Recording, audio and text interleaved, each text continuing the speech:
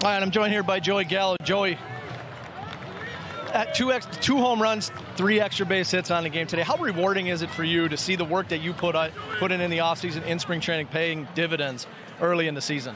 Yeah, you know, it's always uh, it's always nice to have a good day, no matter when.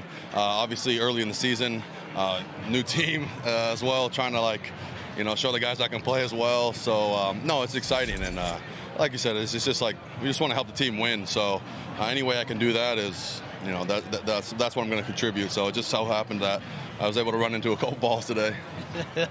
you guys have a good mix of speed and power in this lineup. Do you think this is going to be a lineup that can score runs, score runs often, and score runs quickly? Yeah, I mean that's the plan. Uh, we have a pretty deep lineup as well. We got guys on the bench who, you know, quite frankly, could probably be starting on a lot of teams. So, uh, I mean, that's an exciting piece for us as well. Just having that depth, uh, having guys who can run the bases, take the extra base, and also slug and, and score runs quickly in a hurry. So, um, yeah, it's always it's always nice to have a lineup like that. You, you guys going to Miami now? I think you came into here hoping to sweep this team. This is a team that seems beatable. You guys took care of business. How do you carry this momentum down to Miami? Yeah, you know, I mean, it's just keep it rolling. You know, keep doing what we're doing. Uh, you know, obviously, to to win any game in the big leagues is tough.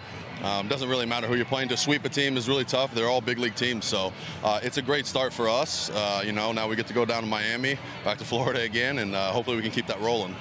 Thank you very much. Way to swing it today. Thanks.